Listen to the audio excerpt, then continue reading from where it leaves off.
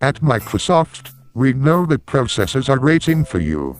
You can certainly upgrade to Windows XP and Packard Bell 2 MHz Power Plus PC with Intel Pentium 3 processor for just 399 and start with Leo.